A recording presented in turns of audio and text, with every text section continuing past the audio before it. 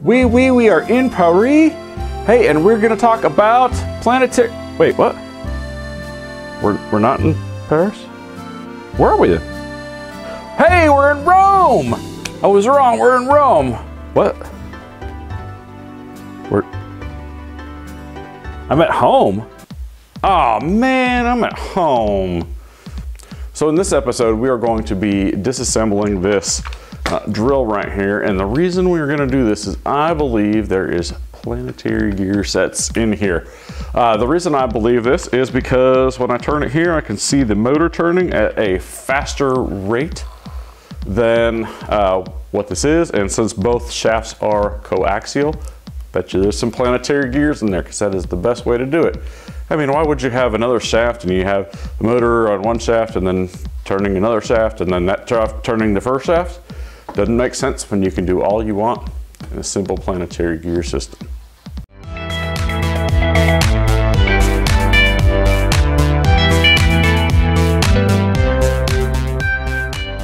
Hey, if you like what you see so far, please be sure to smash that like button and subscribe and click that notification bell so I can annoy you at least once a week. Now this drill right here is a hyper tough one. Yes, I bought it at a pawn shop for like 12 bucks.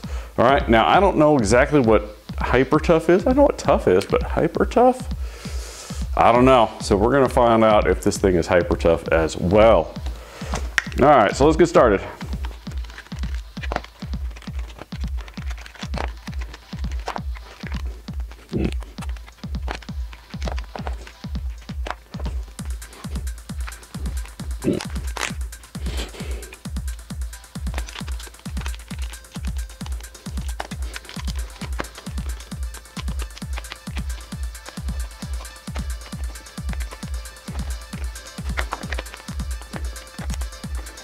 All right, let's see if we can pry this thing apart now. No. Oh, gloriousness. Gloriousness. All right, so pretty simple. We've got our, our two shells. Oops, all those screws. Oh man. We got motor, drill shaft, and let's see. Yeah, I can definitely see that there's gearing in there. So I bet you right in here, some planetary gears. Okay. We got this thing, we can uh, pull it off as well. Uh, our trigger assembly here is um, pretty simple. It's just a, uh, I don't know, I'm sure it's some sort of a potentiometer, high, high current potentiometer. Now let's see what else we can get off here. Let's see.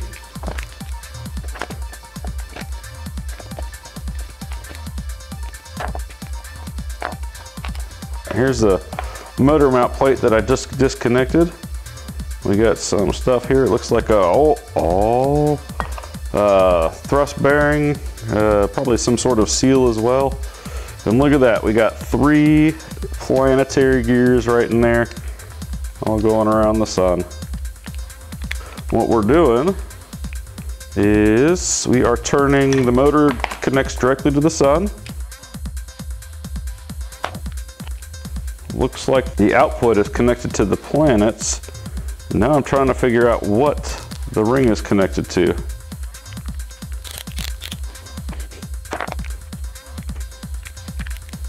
All right, so you can see here that as I spin the, the drill shaft, I'm actually 100% attached to the carrier of the planetary gears here.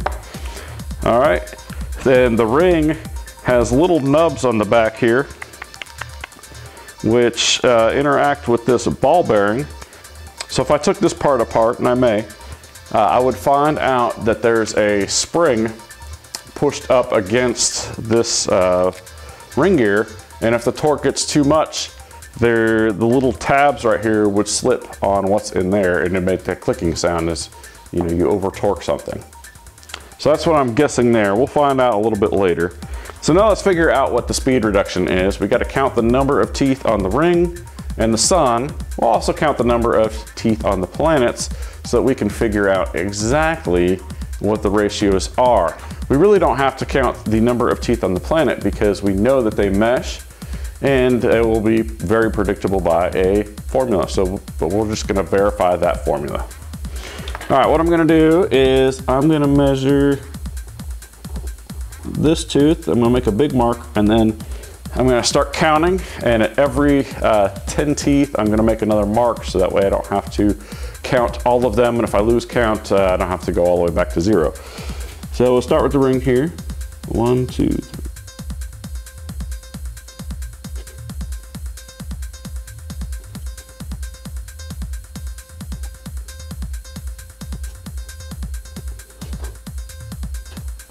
At that, I got 45 teeth on the ring. Let's count the, the planets here.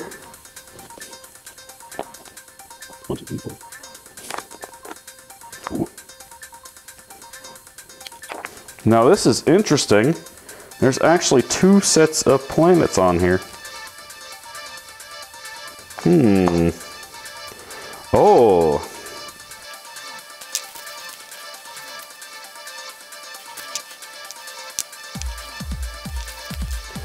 right, so on our ring gear here, I found that there was 45 teeth, and then I flipped it over and realized something cool. This is actually a two-stage planetary gear system. So on our first stage, we have the motor inputting into the sun here, turning the planets, which turns the carriage. All right, the carriage is then mounted to the sun in the next one, and we have a separate set of planets that go around it and then attached to a different ring gear. So we're gonna have, we have two planetary systems with the carrier on the first one driving the sun of the second one. So this is gonna be fun to figure out. All right, let us look here at our 45 and I wanna just see if all the teeth line up. And I think they do. I think that's how you get it assembled. I think the teeth are cut all the way across. So it's only one, one set. So both rings have 45 teeth in their gears. So let's count up how many teeth are on the planet here. We'll make a mark. 18, 18. Sun 2 has, we'll just go from where that's missing. Nine. And we're done with this side. We can put these aside here. All right. I wonder if these are the same.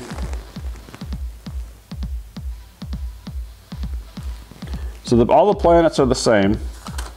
So planet one equals 18 as well, which pretty much means that if I disassemble this, I'm gonna have a nine tooth gear here as well. Almost guarantee it. And if I don't, it means I miscounted somewhere. Look at that, nine. Okay, so that's, hey, that's pretty cool how, what we found out here. I also want to point out here that the sun gear on the one has a little flat spot in it to fit over the motor. And that way you don't have to use a tang or anything to get them to, to fit together.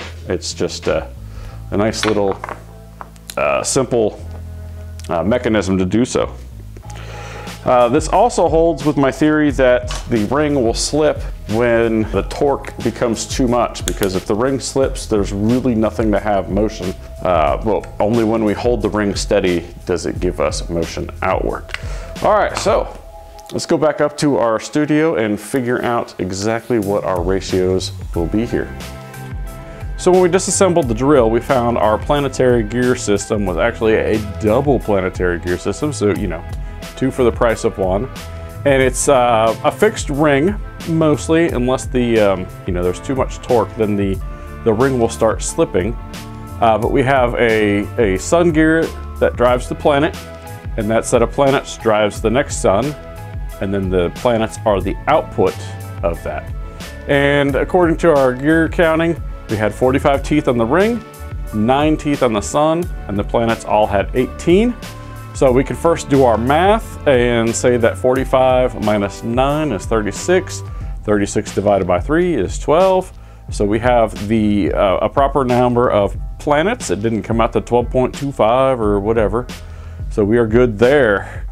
Uh, we can also do our calculation on the speeds and when we put in 1 RPM and we do our calculation here, uh, we find out that we have 0.16666 repeating uh, ratio out. So that's a, a, 1 to 6 ratio if I put. So with each stage in the planetary gear set, we get a 1 to 6 ratio of reduction. So for every 6 revolutions in, we get 1 output on each of them.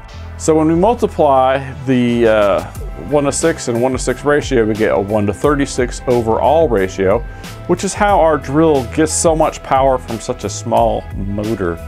Uh, motors like running at high speeds, so uh, having that reduction probably isn't that much, but getting that extra torque out of there, that's a big deal to anybody drilling something or uh, driving a screw with that. So having the extra torque is very important to the success of a drill. Now I can imagine that having a uh, higher voltage input uh, probably would require a higher gear reduction ratio to get even more torque while keeping the motor probably at an optimum uh, speed that it can give uh, a lot of speed and a lot of torque uh, with very high efficiency on the motor. So thank you for watching this video. Be, be sure to give us a like if you liked it and be sure to subscribe